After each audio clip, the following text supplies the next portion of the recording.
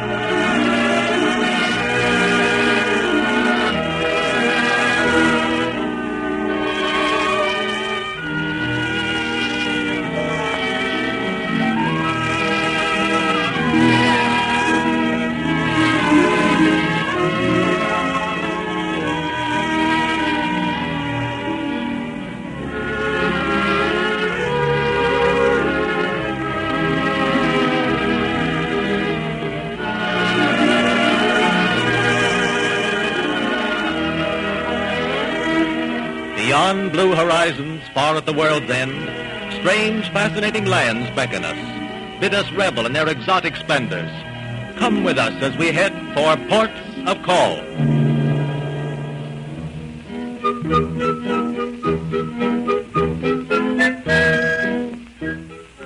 Egypt, 7,000-year-old queen of the Nile, a land of sunlight and endless summer. While Europe still remained in a primitive state, when Greece did not yet exist and Rome was unheard of, the pharaohs of Egypt knew enough about architecture to build pyramid-shaped tombs, which have stood inviolate for 6,000 years. It was Egypt who gave us the foundations for astronomy, Egypt that first perfected the art of sculpture and painting, who taught us how to dye cloth, weave linen and cotton. Truly, this land is a magnificent and lasting monument to the saying, there is nothing new under the sun. We enter Egypt by way of Alexandria, at the mouth of the Nile, a gay, modern city swarming with people of every race and creed. Taking a side trip from Alexandria to the Rosetta mouth of the Nile, we pass a spot where in 1799 an event took place which was destined to open the magic portal of Egypt's past.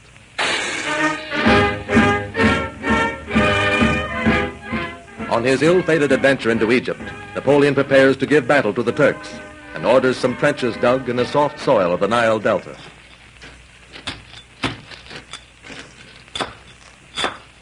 Look, Pierre. What can this be? Here, let me help you. Ah, see. It's covered with markings like writing. It looks like Greek. And then there are some little pictures like we have seen on the pyramids. I think Napoleon would wish you to give it to him. Oh, Francois, Huh? Napoleon is coming toward us now. What are you doing, men? While others work, you stand idle. General Bonaparte, we, we were digging even as the rest are doing. And I dug up this stone. Pierre here says I I should give it to you. Let me look at it. Hmm. You're right to give it to me.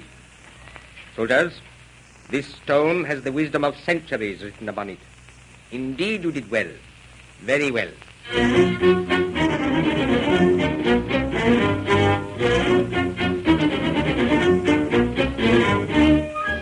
Napoleon sent the Rosetta Stone to Champollion, famous Egyptologist, who found it a record of honors bestowed on Cleopatra. They were written in Greek and Egyptian hieroglyphics. Champollion knew ancient Greek. By comparison, he was able to decipher the mysterious hieroglyphics. Thus it is that the world today knows so much of the distant wonder and beauty of Egypt's past.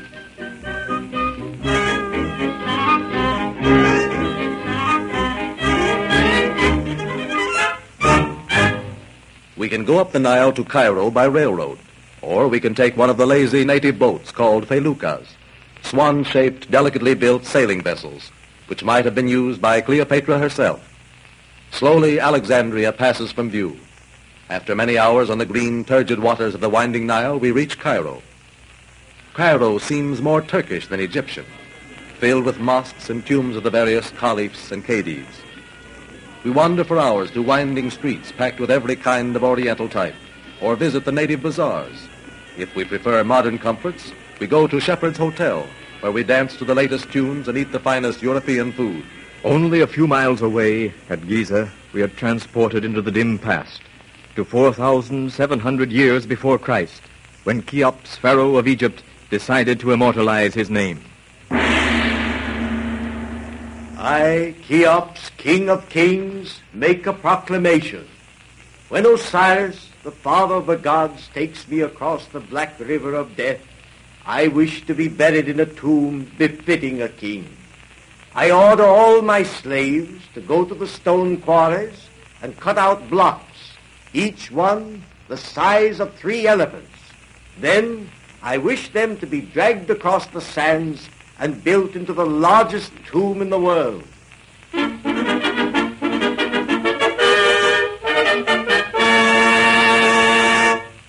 After 20 years of labor, and with the loss of three million lives, the Great Pyramid was completed.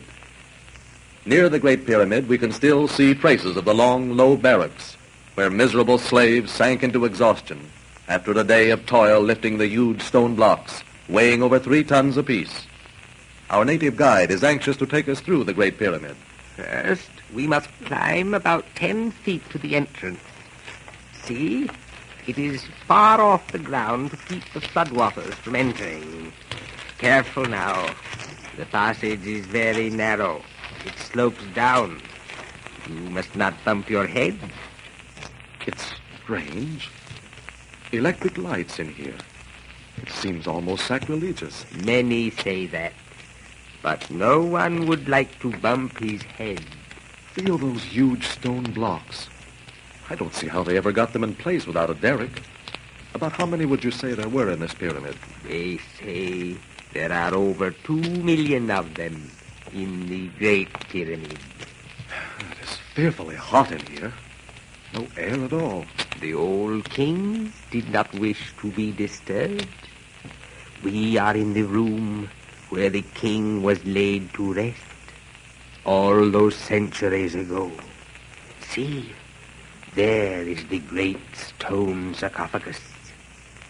Empty. I thought the mummy might still be in there. Alas, centuries ago, thieves broke in and stole all the treasures. They even turned the sarcophagus upside down.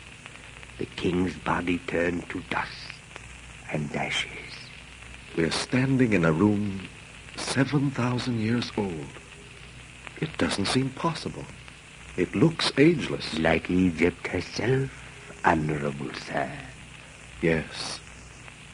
Egypt herself. Ageless.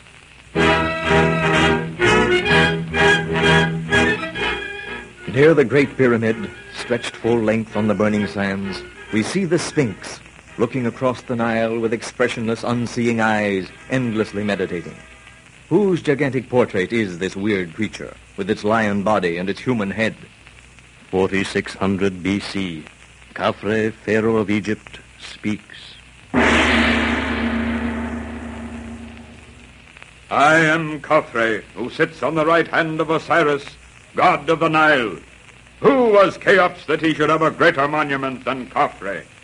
I command you to build a statue of myself with the body of a lion cut in the solid rock. It shall be the largest in the world, so that even when my sons and their sons have gone, I will be known as Khafre the Mighty.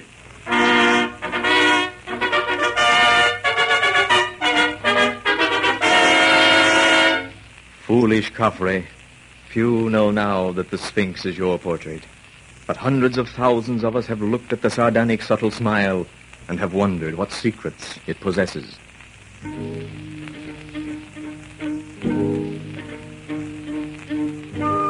Going still farther up the Nile, we pass the Valley of the Kings, a magical name.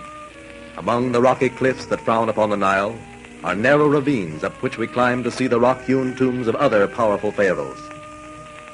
Whose tomb is this?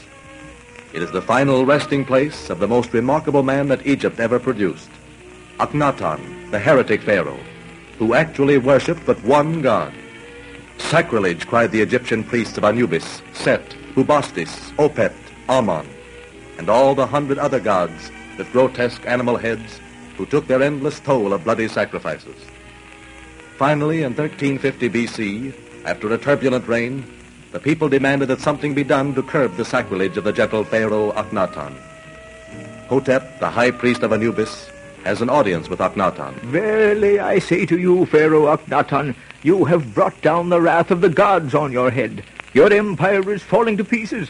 Your people grumble because you have taken their gods away from them. You must give up this mad idea of yours to worship only the sun. Hotep, most noble one, high priest of Anubis, this is my answer. No longer will my people offer blood sacrifices to gods with the head of jackals, cats, lions, and crocodiles. These creatures are animals without souls. Akhenaten, be silent lest the gods strike you dead. There is but one god, Aten, the sun, the giver of life. Be warned, O most noble Akhenaten. Be warned of your people's hatred of you. Nefertiti. Nefertiti. Yes, my lord. You called me? How often must I tell you not to call me your lord? You are my wife. We are equals. Oh, it is hard to understand, Akhenaten. You are the Pharaoh. You were allowed many wives, many gods. And yet you worship but one God, and have married but one wife. I need but one God. I want only one wife. But I have given you no son. It is the will of Aten that we have no son. Nefertiti, what will happen to the religion I've tried to give my people? Why was I not born strong like other men? I must die before my work is completed. Oh, do not say that, please. Oh, look. Here comes the husband of our daughter. Welcome, Tutankhaten. Welcome. Akhenaten, sanctified one, Do not throw yourself at my feet. I'm not a god. you are so strange, Akhenaten. We have been taught that Pharaoh is sacred, and you say, I am not a god. My boy, I have something important to tell you. Yes? When I die, you will be Pharaoh of Egypt. Pharaoh of Egypt. Yes. You are my daughter's husband. I have no son. There is only one thing I demand of you. I shall do anything you wish. Promise me that you will worship only Aten, god of the sun. I swear that I will not forsake the sun. I promise you this, Akhenaten.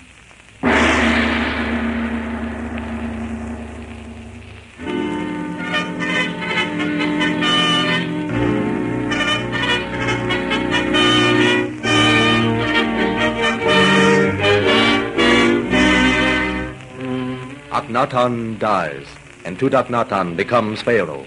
Hotep, the high priest, comes once more.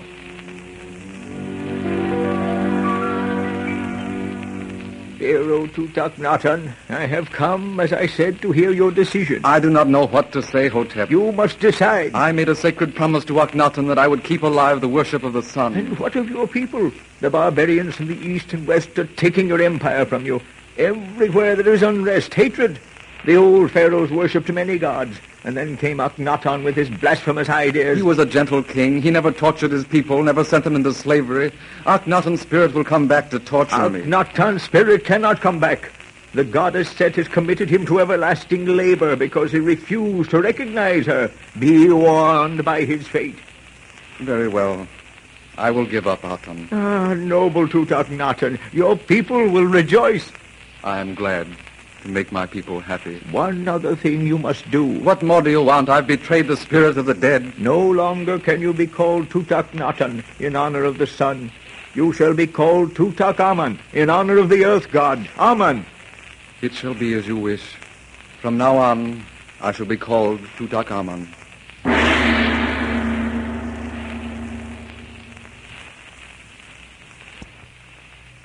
And such was the beginning of Tutankhamun's reign.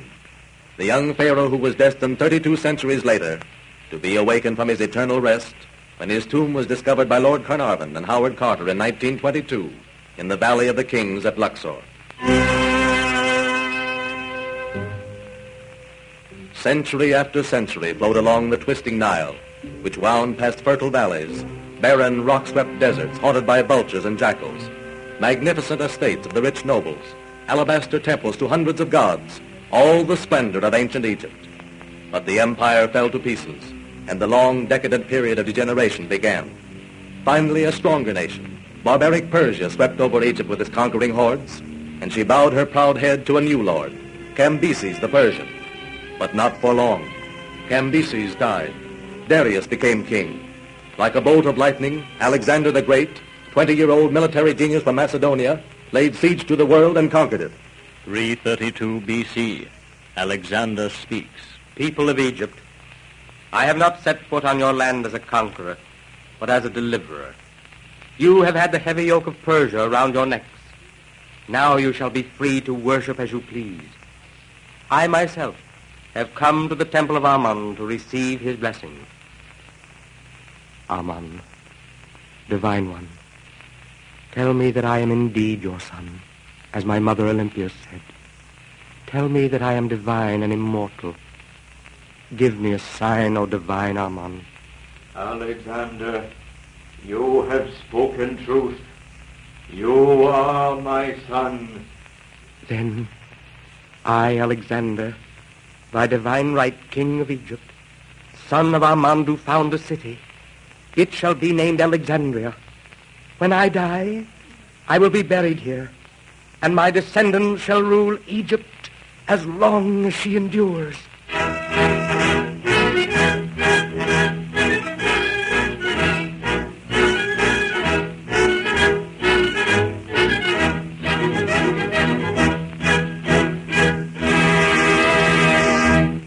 And no sooner did Alexander's fever-ridden body breathe its last than his generals savagely divided his empire among themselves and murdered all his children. Only one wish came true. Ptolemy snatched Alexander's body from the grave and carried it to Egypt, where he buried it in the temple of Ammon. There he founded the dynasty of the Ptolemies, and his last descendant was a woman destined to be even more famous than Alexander himself, Cleopatra, who betrayed her country to the Romans in 30 BC. But do not judge me too severely when you hear those harsh words. At seventeen, I saw my rightful throne snatched from me by my brother Ptolemy. I was a woman. I could not lead an army. But Julius Caesar, the great Roman, could lead an army. I made him fall in love with me. It was not hard. He was 56. I was 17. He gave me back my throne. I went to Rome with him. Alas, that was my great tragedy, the beginning of my downfall. For Rome was the greatest city in the world, and I was queen of one small, weak country. I might have been Caesar's wife had they not murdered him. I had to return to Egypt, alone, unhappy, disappointed. And then I met Mark Antony. I loved him for his bravery. I admired him for his power. Together we might have ruled the world. But Antony was weak where I had thought him strong. And because of a little quarrel with me, he threw away our chances for the world. Octavius Caesar, that pale, thin fellow, won the Battle of Actium. I no longer wanted Egypt. I no longer wanted love. Antony killed himself rather than give me up. What was left for me but death? I had no country. I had no honor. And so I died as I had lived, queen.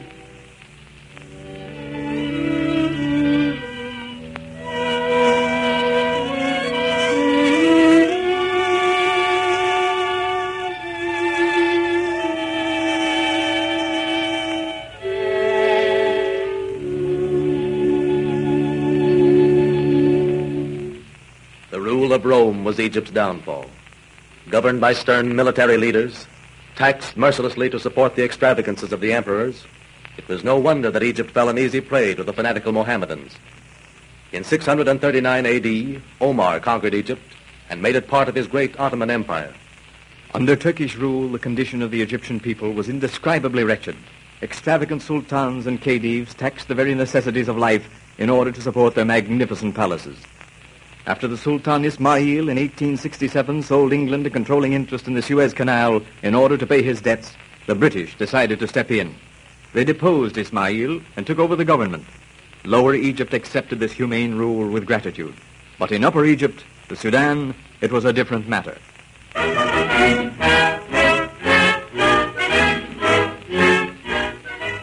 Eighteen eighty-three. Gladstone, Prime Minister of England, has a conference with Queen Victoria. Is there nothing we can do to stop this religious fanatic from stirring up the Sudan? No, Your Majesty. This man calls himself a Mahdi, or prophet of Islam. He has great personal magnetism. People will die for him. He hates England.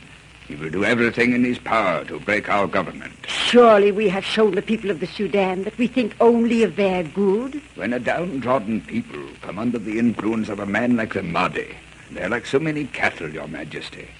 He appeals to their emotions. We try to appeal to their good sense. Just last month we sent 10,000 British soldiers out there in that hot, ungrateful country to teach the Sudanese good sense. What was the result? Utter annihilation. Colonel William Hicks murdered. I am afraid that your policy of good sense is the wrong one for Sudan, Mr. Gladstone. Our only way to overpower the Mahdi is to find an Englishman with the same personal charm, the same power over men, the same understanding. Well, Mr. Gladstone, since you have come to that conclusion at last, whom do you suggest that we send? I think that General Gordon would be the very man. Ah, yes. General Gordon has a brilliant record, I believe. They call him Chinese Gordon on account of his ability to understand the workings of the Chinese mind. Perhaps he might be equally successful with the Egyptians. Very likely, Mr. Gladstone. I think this Chinese Gordon is the man for the Sudan. You may give an order to have him dispatched to Khartoum immediately, with all necessary soldiers and men for an extended campaign. The Mahdi must be defeated for good and all.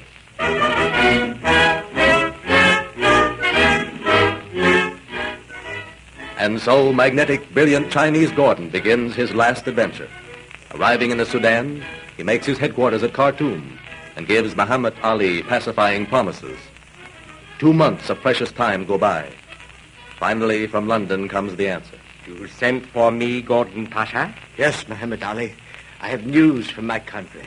They will give us Zobair to rule over us as you promised? No. You have broken your word, Gordon Pasha. They do not want Zobair, because he was once a notorious slave hunter. You have broken your word, Gordon Pasha. Do You believe I could do that? You are an Englishman, Gordon Pasha. Yes, and proud of it. I will not have one word said against my country. I can no longer promise you and your garrison any support. In fact, most of the tribes have already gone over to the Mahdi. Let them go. You wish? You may go too. Mark my words, Muhammad Ali. England will come to my aid, and you and your Mahdi will be wiped out forever. Gordon is left with a small garrison of men at Khartoum to hold the city against the rebel tribes of the Mahdi. Day by day, his fate grows worse. In vain, he telegraphs for help. London seems to have forgotten gallant Chinese Gordon and his little band of heroes. Three months go by. Four. Five. March arrives with the Nile rising in its annual flood. The Mahdi lays siege to Khartoum. In London, action is finally taken, and a small armed force under Sir Charles Wilson is sent out to Egypt. After desperate fighting, they start up the Nile for Khartoum. Meanwhile, at the fort, the Nile is rising. The fort is gradually sinking into the mud. Sabri! Sabri! I cannot come to you, Gordon Pasha. I can no longer stand. We must strengthen the walls. They're crumbling to pieces. The Mahdi's troops will be able to enter. I cannot come. I cannot. Oh, he's finished. Poor wretch. I'm almost alone. Oh, England. England, where are you? Mahdi, he has entered the fort at last. To arms! To arms! For God and St. George! Soldiers, go up the stairs. Gordon Pasha will be there. Take him prisoner so that we can drag him before the Mahdi. Go up the stairs.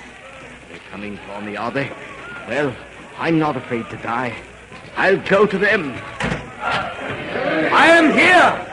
You there at the foot of the stairs. Take me alive if you can. Gordon Pasha, I take you prisoner. Take me prisoner, eh, Muhammad Ali? Here is my answer. Kill him. Kill him. Death to the Englishman. Down with him. Down with him. Oh, Gordon Pasha, you are hurt. Down with England. God and St. George. England!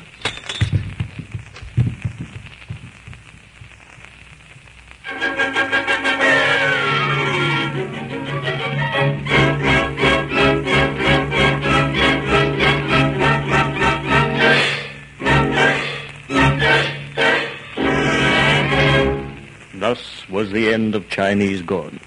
Sir Charles Wilson arrived at Khartoum two days late. Not until 1896, 12 years later, did Great Britain defeat Mahdism and regain the Sudan which she lost with the fall of Khartoum. When Lord Kitchener finally raised the British flag over the residency in Cairo, Egypt was freed at last from religious persecution.